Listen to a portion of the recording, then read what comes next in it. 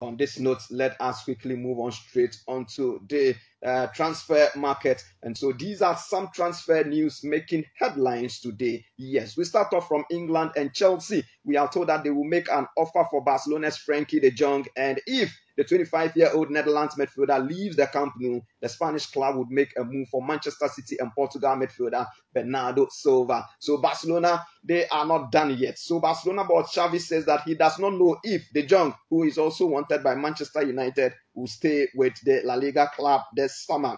Remember, the transfer market has about 34 or so days to go. And Chelsea have offered 26 year old German striker Timo Werner to Spanish side Real Madrid. And Chelsea are also trying to sign French centre back Wesley Fofana from Leicester and the 26 year old Netherlands defender uh, Denzel Dumfries from Inter Milan. Newcastle United have made an inquiry about 24 year old Leicester City and England winger Harvey Barnes, having had a bid for his compatriot and Foxes playmaker James Maddison, turned down by the East Midlands club. Liverpool forward Roberto Firmino has been linked with Juventus, but the 30 year old Brazil international says that he wants to stay at Anfield. Netherlands defender Virgil van Dijk says that Liverpool teammate Mohamed Salah may have been affected by talks of his contract last season, but the Egypt forward is now playing with a free mind, having signed a new deal. And quickly, Manchester United are looking at moves for Stuttgart's Austria striker Sasa Kalajdzic